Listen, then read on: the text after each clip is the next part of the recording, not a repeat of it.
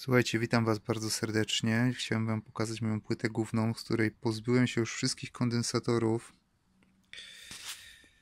No jednak się tam coś z nimi działo. Jak zacząłem się mm, je usuwać, to okazało się, że jednak nie jest dobrze. Na dwóch stwierdziłem przecieki.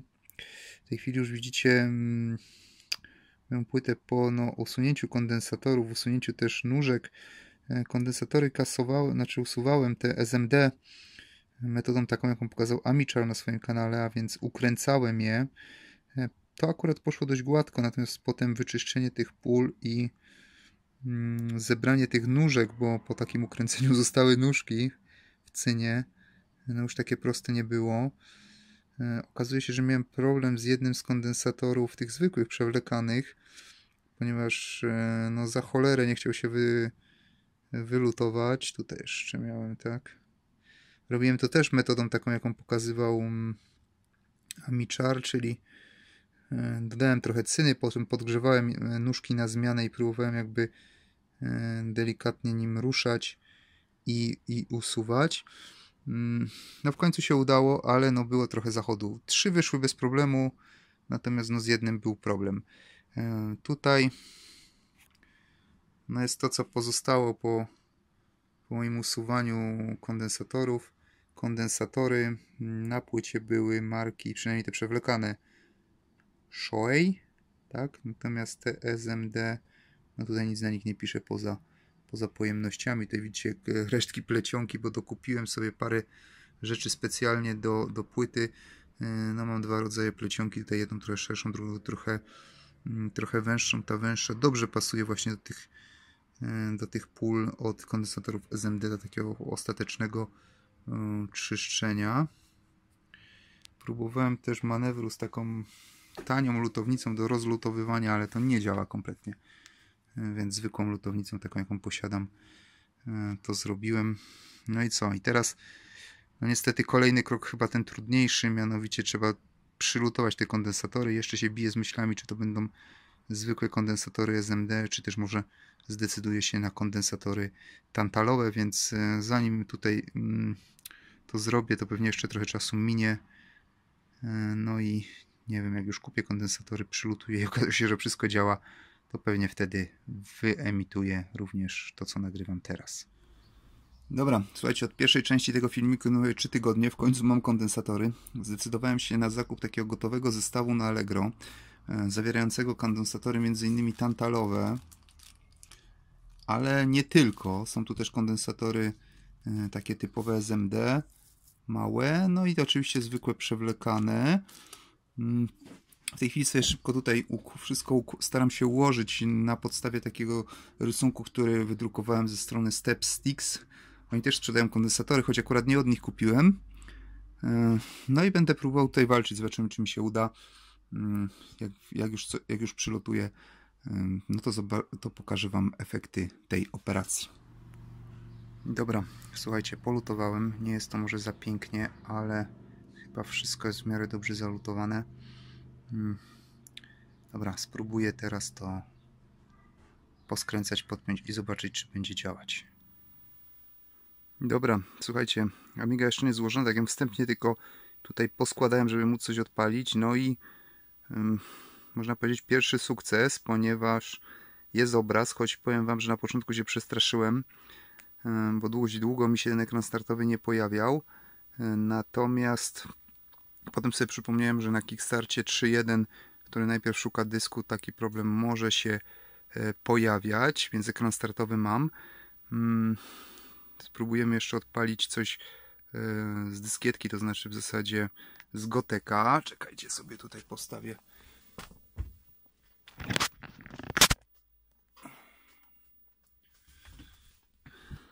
postawię sobie kamerę, dobra, wyłączymy komputer, włożymy, włożymy pendrive'a i odpalimy.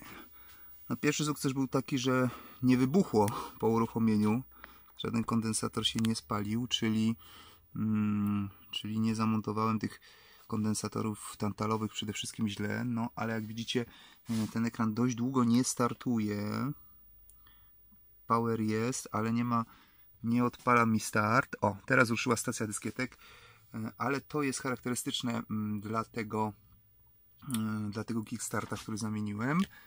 E, jeśli chodzi o obraz, to tam tu w kamerze widziałem, że był taki niebieski trochę, ale w rzeczywistości jest tak, jak być powinien. No i odpalamy grę. O, Limbo Quest. No nie wiem jeszcze, czy wszystko jest w porządku, ale tutaj spróbujemy to włączyć i zobaczymy, co się będzie działo. Ładujemy Flimbo z Goteka. Czekajcie, może ten ekran trochę przykręcę. Lepiej widzieli. O.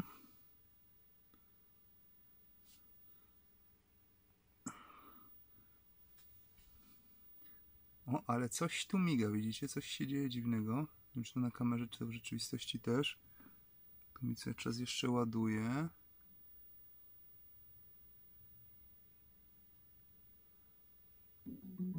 Ale czekajcie, jest głos. Dobra. Odpalamy. No i dobra, mamy obraz. Patrzymy. O. No i nie przycina tak jak przycinał przedtem. A więc już jakiś plus jest.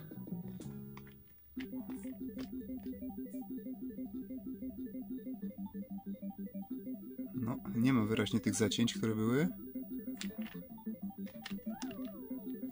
No, zabija mnie. Dobra, e, spróbuję złożyć teraz tą Amigę już tak ostatecznie, założyć kartę turbo, e, założyć kartę CF i zobaczymy, co będzie się działo wtedy. Dobra, słuchajcie, Amiga już złożona. Czekajcie, spróbuję ją odpalić. No, tak mi się dzieje przy starcie. Wszyscy, no, miga mi, to nie widzicie teraz, ale miga mi już dioda e, od dysku, więc ładuje się system z dysku. Zaraz powinniśmy go widzieć.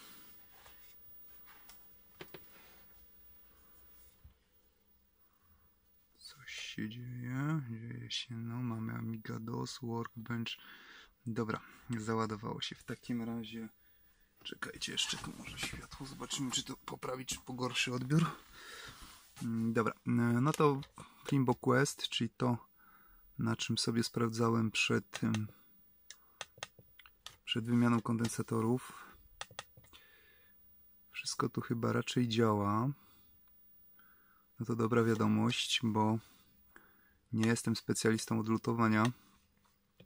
A przy lutowaniu tych kondensatorów, jak na moje możliwości, było, powiem Wam, raczej e, no, trudnym zadaniem. Nie szło mi to najlepiej. Estetycznie nie jest za pięknie, ale wychodzi na to, że chyba funkcjonalnie działa. No i teraz zobaczymy, czy pomogło. E, Pomogło na pewno w tej wersji mm, z dyskietki, czyli tej uruchomionej z Goteka. Natomiast teraz zobaczymy, co z wersją co z wersją tą dyskową, tak? No, załadowało się. Mam, mam jakiś dźwięk. Dobra. Obraz mamy. Dźwięk mamy. I co? No, tylko ten joystick mam beznadziejny. O, jednak zacina dalej. Tak, bo przecież... e, Czyli tu jest jakiś problem i chyba nie jest to problem kondensatorów. Na tamtej wersji mm, tej dyskietkowej teraz sobie przypomniałem, że był problem, ale z artefaktami obrazu, a nie z zacinaniem. No właśnie. Zacinało tutaj i zacina dalej. Dobra. Joystick jest beznadziejny. E, Dobra, ale tak. e, F10. No więc klawiatura działa. Reset też działa, już sprawdziłem. Spróbujmy na jakiejś innej grze. Powiedzmy. e, Gianna Sisters może.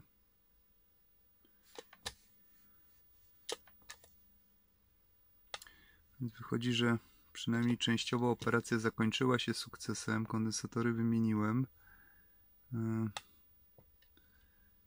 I chyba nawet udało mi się nie zepsuć. Mm, Jak się nazywa to? Grade Gianna Sisters chyba.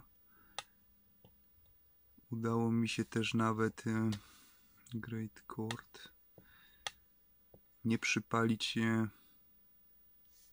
mamy Great Gianna Sisters e, nie przypalić tego gniazda klawiatury na przykład e, lutownicą, więc tutaj sukces. Tam lotowałem akurat kondensatory SMD, bo takie były w zestawie. W ogóle kurczę, co jest? E, W ogóle mm, w tym zestawie miałem też kilka kondensatorów SMD.